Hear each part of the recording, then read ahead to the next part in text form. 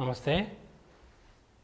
ప్రస్తుత కాలంలో ప్రభుత్వ మరియు ప్రైవేటు సెక్టార్లో మంచి ఉద్యోగ అవకాశాలు కల్పించే రంగం కింద బీమా రంగం కనిపిస్తోంది. బీమా రంగం అంటే ఇన్సూరెన్స్. సాధారణంగా ఇన్సూరెన్స్ అంటే మనకు కాలనీల్లో కనిపించేటువంటి ఇన్సూరెన్స్ ఏజెంట్లు మాత్రమే అనుకునే వాళ్ళు ఉన్నారు. కానీ ఈ ఇన్సూరెన్స్ రంగంలో కూడా వివిధ రకాలైనటువంటి ఆఫీసర్ పోస్టులు స్పెషలిస్టుల పోస్టులు నికరంగా నెలకి యాభై అరవై వేల రూపాయల జీతం ఇచ్చేటువంటి ఉద్యోగాలు ఉన్నాయనే విషయం తెలుసుకోదగ్గవి. ఇప్పుడు ఈ ఇన్సూరెన్స్ ఉద్యోగాలు ఎలా ఉంటాయి? వాటిల్లో ప్రవేశాలు ఏంటి వాటిని ప్రవేశించాలంటే ఏ నైపుణ్యాలు ఉండాలి? వీటికి సంబంధించినటువంటి ఉద్యోగ పరీక్షలు ఏ రకంగా ఉంటాయనే అంశాలని మనం చూద్దాం. బీమా అనేటువంటి సర్వసాధారణంగా వ్యక్తిగతమైన బీమా సంగతి మనకు అందరికీ తెలుసున్నదే. లైఫ్ ఇన్సూరెన్స్ అని అంటారు.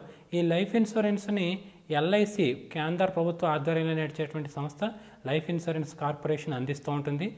సాధారణంగా ఈ ఇన్సూరెన్స్ రంగంలో ఎక్కువ భాగము ఈ వ్యక్తిగతమైన ఇన్సూరెన్స్ లేదా ఫ్యామిలీ ఇన్సూరెన్స్ కిందే వస్తుంది. దీంతో పాటుగా ఇటీవల కాలంలో హెల్త్ ఇన్సూరెన్స్కి చాలా ప్రాధాన్యం పెరిగింది. కరోనా రావడం అంతకుముందు రకరకాల వ్యాధులతో ప్రబలడం కార్పొరేట్ ఆసుపత్రుల్లో ఫీజులు విపరీతంగా పెరిగిపోయినటువంటి తరుణంలో హెల్త్ ఇన్సూరెన్స్ కూడా విపరీతంగా ప్రాధాన్యం పెరుగుతుందని అనుకోవచ్చు. ఈ రెండు అంశాలని పక్కన పెట్టినట్లయితే కనుక అన్ని పరిశ్రమలు లేనట్లయితే కనుక యూనిట్లు వీటిలన్నిటిని కూడా ఇన్సూరెన్స్ చేయడం తప్పనిసరి. అలాగే మనం వాడేటువంటి వాహక వాహనాలు అట్లాగే తిరిగేటువంటి సాధనాలు కూడా ఇన్సూరెన్స్ తప్పనిసరి అవుతున్నటువంటి కాలము. దీనికి సంబంధించి జనరల్ ఇన్సూరెన్స్ ఇండస్ట్రియల్ ఇన్సూరెన్స్ ఇలాంటి ఇన్సూరెన్స్లు అన్నీ కూడా అందుబాటులో ఉంటాయి. మొత్తమే చూసుకున్నట్లయితే కనుక మనిషి మనిషి జీవితం మనిషి కుటుంబం మనిషి చుట్టూతో ఉండేటువంటి వస్తువులు లేదన్నట్లయితే చేసేటువంటి ఉద్యోగానికి సంబంధించిన కంపెనీలు అన్ని చోట్ల ఇన్సూరెన్స్ అనేది తప్పనిసరి అయిపోయింది. ఇప్పుడు ఈ ఇన్సూరెన్స్ని కేంద్ర ప్రభుత్వ సంస్థలైనటువంటి Oriental insurance life insurance general insurance వంటి కంపెనీలతో పాటుగా వివిధ రకాలైనటువంటి ప్రైవేట్ ఇన్సూరెన్స్ కంపెనీలు కూడా విస్తారంగా సేవలు అందిస్తున్నాయి. ముఖ్యంగా బ్యాంకింగ్ రంగం ఏదైతే ఉందో ఆ బ్యాంకింగ్ రంగంకి అనుబంధంగా కూడా ప్రైవేట్ ఇన్సూరెన్స్లు అడుగులు ముందుకు వేస్తున్నాయి. ఎస్బీఐ లైఫ్ కావచ్చు లేదన్నట్లయితే ఓరియంటల్ కెనరా హెచ్ఎస్బిసి ఇన్సూరెన్స్ కావచ్చు మరో రకం ఇన్సూరెన్స్ కావచ్చు ఈ సంస్థలు కూడా పెద్ద ఎత్తున ఇన్సూరెన్స్ సేవలు అందిస్తున్నాయి. అంటే ప్రభుత్వ రంగంలోనే కాకుండా ప్రైవేటు రంగంలో కూడా విరివిగా ఉపాధి అవకాశాలు ఉన్నాయని మనం అర్థం చేసుకోవాల్సి ఉంటుంది. ఇప్పుడు ఈ ఇన్సూరెన్స్ ఉద్యోగాలకు కావాల్సినటువంటి స్కిల్స్ ఏంటో చూద్దాం.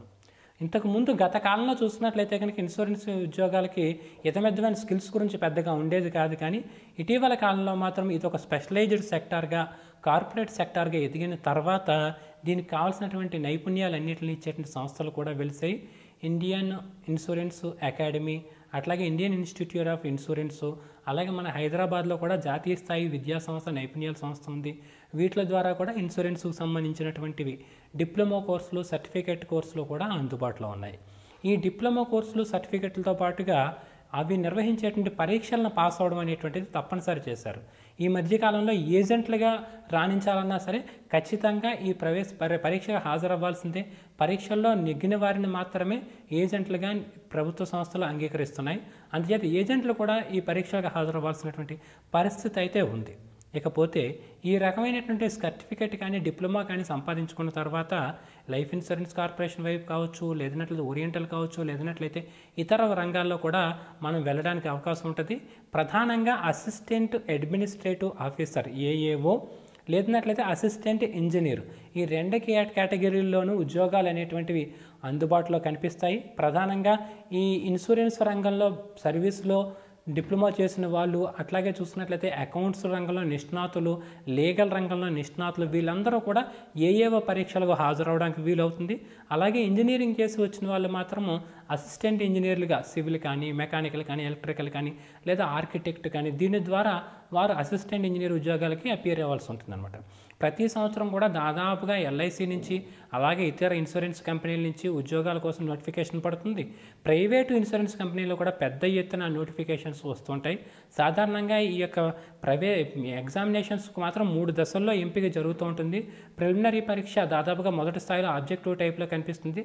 చాలా వరకు కూడా reasoning ability aptitude quantitative aptitude అట్లాగనే ఈ జనరల్ ఇంగ్లీషు ఇటువంటి అంశాల మీద ఈ ప్రిలిమినరీ పరీక్ష ఉంటుంది. తదుపరి మాత్రం డిస్క్రిప్టివ్ పరీక్ష మెయిన్స్ పరీక్ష అని చెప్పేసి అంటారు. దాదాపుగా ఇది త్రీ అవర్స్ జరిగేటువంటి పరీక్ష.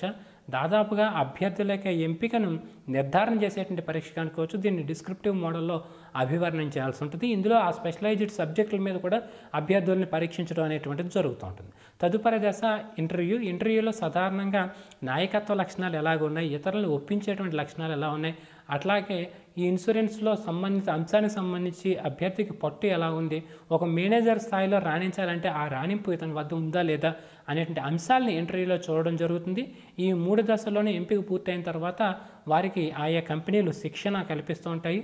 సమకాలీన అంశాల మీద ముఖ్యంగా చూస్తున్నట్లయితే కనుక పోటీ ప్రపంచంలో ఎదుటి వ్యక్తిని క్లయింట్ని ఒప్పించి ఇన్సూరెన్స్ బీమా చేయించడం మీద అలాగే అతని కింద ఆఫీసర్ కింద అనేక మంది ఏజెంట్లు పనిచేస్తుంటారు కాబట్టి వారికి ఒక నాయకుడిగా వ్యవహరిస్తున్న వాళ్ళ చేత బీమాలు పాలసీలు చేయించడం ఎలాగనేటువంటి దాని మీద అట్లాగే బీమాలను అన్నింటినీ కూడా అమలు చేయడము దానికి సంబంధించిన టెక్నికాలిటీస్ వీటి మీద కూడా శిక్షణ అనేటువంటిది ఉంటుంది. ఒకసారి ఎంపిక అయిన తర్వాత అసిస్టెంట్ అడ్మినిస్ట్రేటర్గా కెరీర్ ప్రారంభించిన వ్యక్తి దాదాపుగా యాభై అరవై వేల జీతంతో నెలసరి వేతనంతో ఆయన కెరీర్ ప్రారంభమవుతుంది. తదుపరి దశలో లక్ష లక్షన్నర ఇంకా పై స్థాయికి కూడా వెళ్ళిపోవడం జరుగుతుంది.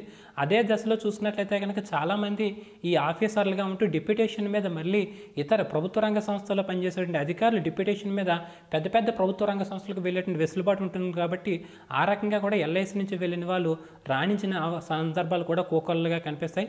మొత్తం మీద చూసుకున్నట్లయితే కనుక బీమా రంగంలో ఏజెంట్గా ఉండేటోను ఫ్రీలాన్స్గా సర్వీస్ అందిస్తూను కెరీర్ని మలుచుకునేవారు కొందరైనట్లయితే కనుక ఒక అధికారిగా గ్లామర్ పోస్ట్ తోటి మంచి జీతము మంచి పరిస్థితుల మధ్య ఆఫీసర్గా వెలుగొందేటువంటి అవకాశాలు కూడా అంతే మెండుగా ఉన్నాయని మాత్రం మనం చెప్పుకోవచ్చు.